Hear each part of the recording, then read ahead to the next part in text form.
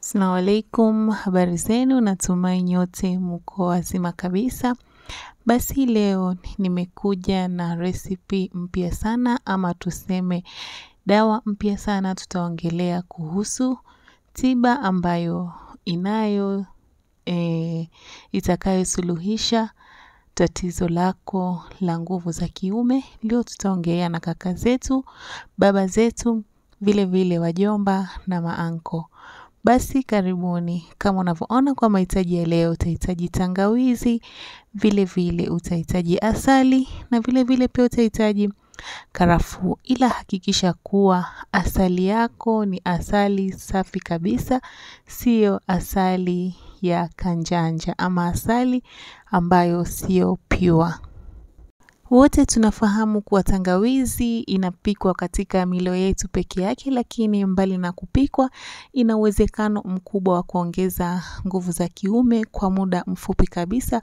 Basi ikiwa una tatizo ambalo spam zako hazina mkia, vile vile hauna uwezo wa kutungisha ujauzito, ama vile vile ikiwa unasumbuliwa na tatizo la ugumba, vile vile ikiwa unasumbuliwa na tatizo ambalo linafanya e, uume wako hausimami kwa muda mrefu, ama vile vile ikiwa unamaliza haraka ukiwa na mamake, basi video hii ni yenu nyote na imani itakusaidia, na ikiwa haitakusaidia wewe, basi inaweza ikasaidia mwenzako, vile vile pia inaweza ikasaidia jirani.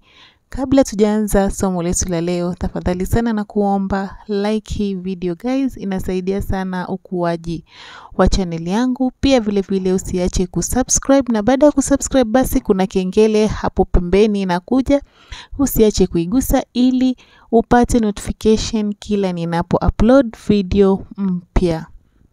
Basi kwa kuanza somo letu la leo, chukua tangawizi yako, hakikisha umeiosha vizuri, na baada ya hapo utakata kipande kama hicho, na ikiwa utazidisha, basi utazidisha kiwango cha karafuu yako, vile vile pia utazidisha kiwango cha asali, na baada ya hapo basi ichambue tangawizi yako vizuri.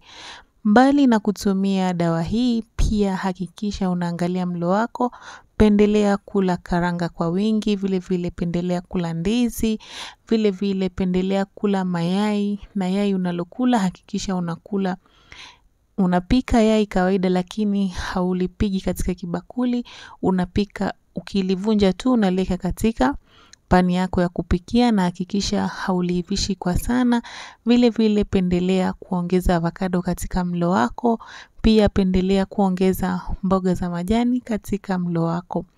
Na baada ya hapo basi ukisha kukata e, ukishachambua tangawizi yako kama hivyo, chukua kile kikwangurio cha kukwanguria nyanya, kisha utakwangua kama hivyo. Vile vile unaweza ukatumia E, kinu kwa kupondea tangawizi yako, na ikiwa hauna tangawizi mbichi unaweza kutumia tangawizi nzima, lakini tangawizi mbichi ni bora zaidi na ina afya nyingi sana kuliko tangawizi ya kusaga.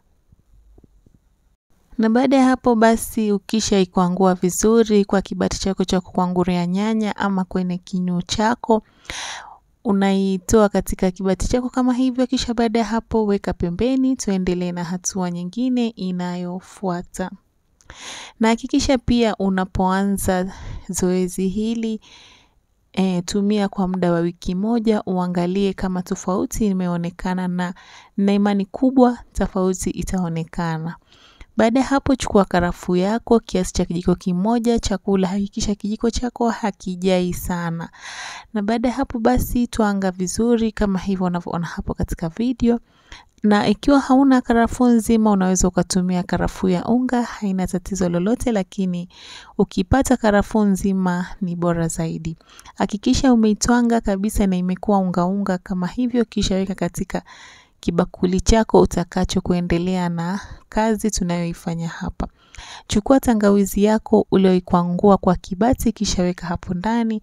Alafu sasa tunachukua asali yetu. Sote tunajua afya zilizopo katika asali ni nyingi sana, mojawapo ikiwa inachangia katika mchango mkubwa wa kuongeza nguvu za kiume na kufanya hauchoki. Unaweza hata ukaenda round tatu kwa kutumia mahitaji haya peke yake. Baada ya hapo basi, changanya vizuri baba, changanya vizuri, changanya vizuri, na itakuwa kama hivyo.